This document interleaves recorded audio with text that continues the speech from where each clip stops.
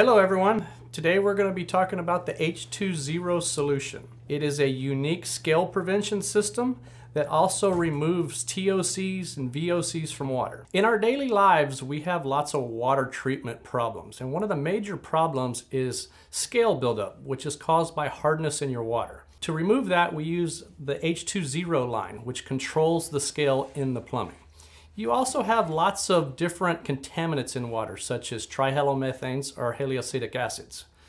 The H2 system will remove those as well through an absorption process that makes your water very clean.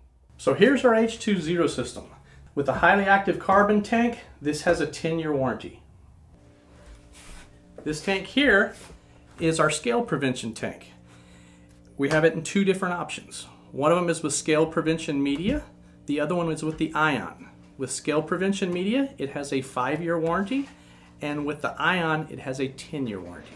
It's very simple. There's no drain lines, no electricity. It's an inlet and an outlet connection. No wastewater at all. So this is the inlet to our system. We have it hooked up with flex connectors. The inlet would come into the system. We would go down through the first tank. We would upflow through our media and out to our second tank. As we get to our second tank, flow would come in. We would go down and then up through our media and out to service. Hey, Elgin, great job on that example on the upflow system. This is our first time we've had a two-tank system, right? And like you explained, it's in an upflow. So it's upflowing through the media, so now we don't, we're not required to have discharge. Oh, and no electricity. Yeah, you know, so now we have zero electricity, zero discharge. We have a 10-year option then a five-year option. It's going to reduce the contaminants. It's a winner when you don't have electricity or drainage and ease of installation, you just saw it. Water in, upflow, water out, same process in the next tank.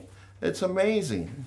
Yeah, and the reason why we do not have to backwash or we do not need a drain for this particular system is because we're running upflow. And in the upflow position, we're always stirring that media up so the water never takes the same path all the time through the system.